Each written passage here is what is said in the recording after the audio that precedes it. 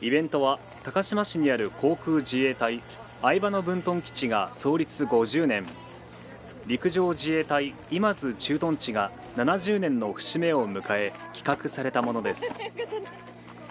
会場では装備の展示や車両によるパレードが行われたほか高島市の特産品なども販売され多くの家族連れでにぎわいました。インパルス。見に来たのは？飛行機でいろんなことができたからそこがすごかった。